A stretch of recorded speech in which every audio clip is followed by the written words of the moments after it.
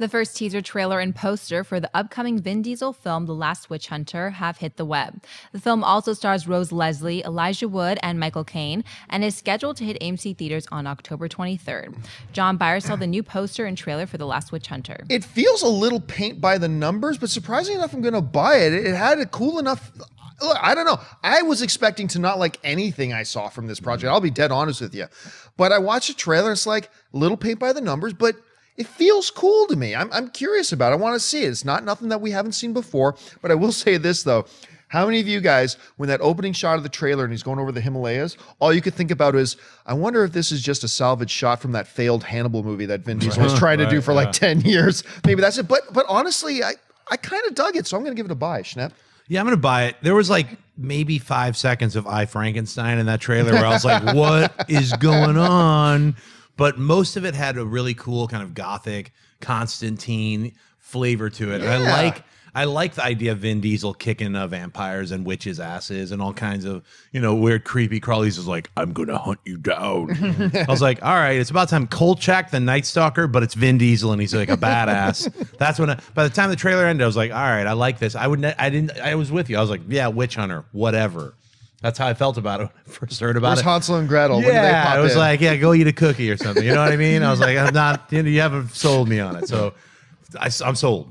Um, yeah, I'll, I'll buy it as well, but I it, it's like I never would have thought all three of us would buy it when this first came no, but out. I- I'm not. I'm not super buying it because I just, I just want to go back in time and watch when Vin Diesel threw Nicolas Cage out of the room because you knew Nicolas Cage was must have been attached to this at one point. This seems like a Nicolas Cage movie, right? You see him even see Andy Samberg. How was I not in this movie? um, but the movie doesn't look like anything special. It's just that there's something about Vin Diesel in these types of movies to where you're watching it and you go, you know what? The guy is that he's the action star that you want to watch do stuff, even regardless of what you thought of Riddick. You went, you watched it because he's he's got that charisma.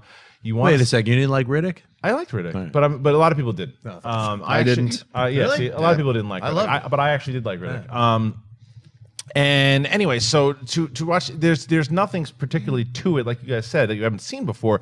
But when you're watching it, you're going, okay, maybe Vin Diesel can bring something a little different because his fighting style is going to be different different than Nicolas Cage's. Yes. You know, Oh, yes. Nicolas Cage has done this movie about 57 times. Um, so it, it it could be a train wreck, but why not? You know what? What's really cool is I see Vin Diesel doing this more and more. Is that, and I think maybe working with The Rock in a couple films has done this. We see Vin now embracing and playing a lot more to his strengths, mm-hmm. like seeing him as a badass and kicking ass, and these great "You're going to be hunted," you know, those kinds of lines with that voice of his.